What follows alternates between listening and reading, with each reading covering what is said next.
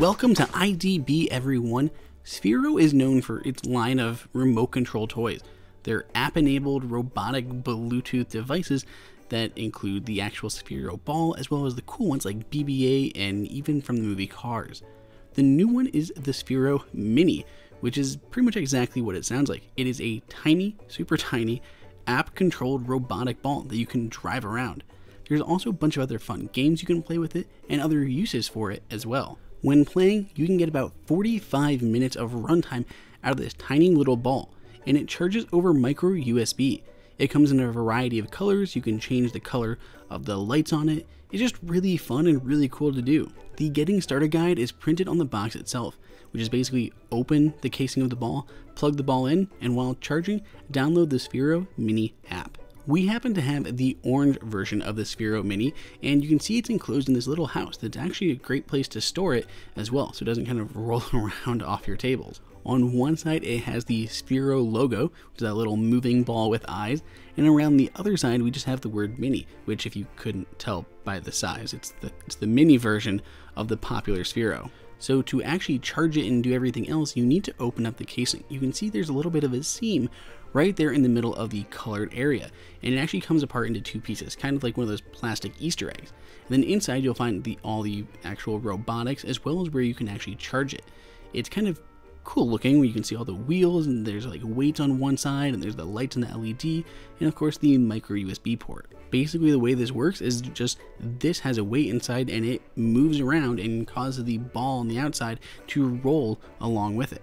When you plug in the micro USB just to this actual internal ball part, it'll go ahead and light up and let you know the status of the charging. So you can easily see with a, a glance if it is still charging or if it is charged all the way up. Once you've got it powered up and you got the app downloaded on your phone, you are all ready to start controlling your Sphero. Inside the box, along with the Sphero itself, there's a few accessories, including that micro USB port or micro USB cord a set of little silicone bowling pins that you can use to play like bowling games of just driving your Sphero, see who can knock more pins down.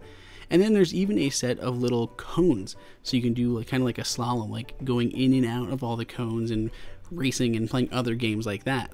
I have to say it was also definitely fun to play with my pets. My cat absolutely loved this thing and was chasing it around all over the place. He was chasing it, the ball was chasing him. It was definitely a fun time and kind of a pain to try to film this with both a dog and a cat just chasing this tiny little ball all around my floors. It's a lot easier with the cat because he can't really destroy it. If my dog would have picked this up, he probably would have cracked that outer, outer housing. But for the cat, it was definitely fun and I had to edit out a lot of cat pouncing on the Sphero ball footage.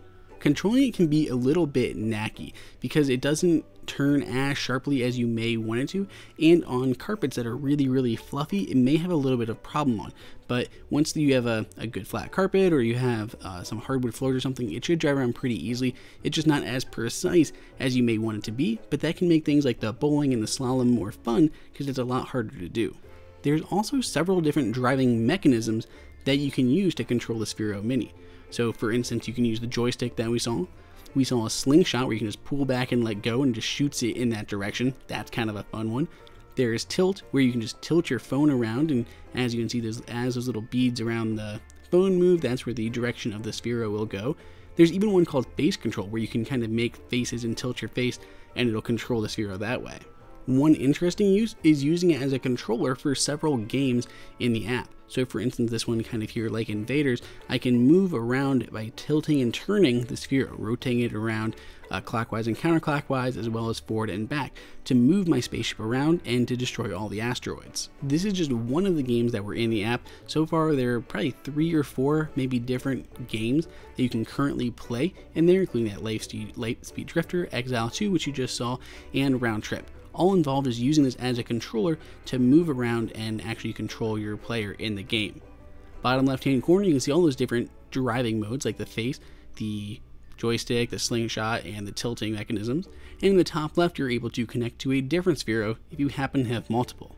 I loved testing this out. So did my pets, even though the dog got scolded a little bit and sat here on the couch pouting while I filmed the rest of the review. But it was a lot of fun. It was really cool to play with. There were so many different ways that you could play with. This is a fantastic gift uh, for a kid. It's definitely a great option if you want to do something that's like remote controlled, but very different and a lot cheaper than the full size Sphero.